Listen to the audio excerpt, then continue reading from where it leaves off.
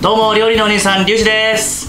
今回はですね皆さんに捧げたいカルボナーラそうめんとまたちょっと奇想天外なメニューを作っていきたいと思います。これかなり楽ちんなのでちょっとやっていきたいと思います。えー、それでは材料紹介にいきたいと思います。とまずそうめん 100g になります。あと卵2個です。えー、っとあとベーコン 50g です、えー、それではですねまずベーコンを炒めていきます。オリーブオイル小さじ2ぐらい。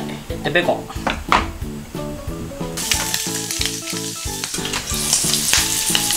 こんぐらいですね。そうめんは固めに茹でます。1分ちょいぐらいでいいです。よく湯切りをしたそうめんを入れます。でここに卵を割り入れ。コンソメですね。はい小さじ1入れます。でこのままですね。かき混ぜていきます。そうめんはかなり細いのでよーく混ぜちゃいます、えー、そうしましたら器に盛っていきますここにですね先ほど焼いたベーコン。はいでここに卵黄ですね。をのせます。あと粉チーズですね。はいあとブラックペッパーです。あと仕上げにパセリです。えー、カルボナーラそうめんの完成です。はい、えー、それでは早速いただきたいと思います、えー、僕はですね最初からクライマックスなので卵黄を潰して、えー、こちらをいただきたいと思います卵1個って結構ね濃厚になるんですよね。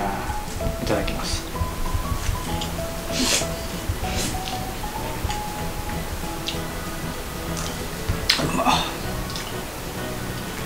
めちゃめちゃうまいです。はい。こうですね、えーと、そうめんの茹でたてのそうめんを、えー、生卵に絡めることによってかなりですね卵が半熟になって濃厚な、えー、ソースになっております。ベーコンのうまみと、えー、粉チーズのうまみ、えー、あとオリーブオイルの、えー、コクですねえー、あと卵黄か、うん、これね非常に美味しいです。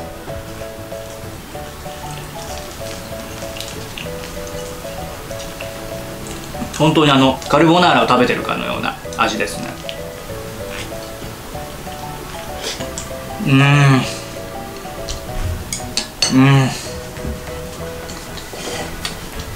これねあの そうめんが余った時にも、えーと使えるんですけどもあったかいんでねこれね。あの季節を通して、え、召し上がることができますので、えーと、かなり、え、汎用性の高いレシピと、え、なっていると思います、えー、ぜひですねこれ本当にめちゃめちゃうまいので、えー、やってみてください、えー、このレシピが、えー、美味しそうだなとか、えー、作っていた、えー、作ってみたいなとか思った方は、えー、ぜひ高評価、えー、およびチャンネル登録をよろしくお願いいたします。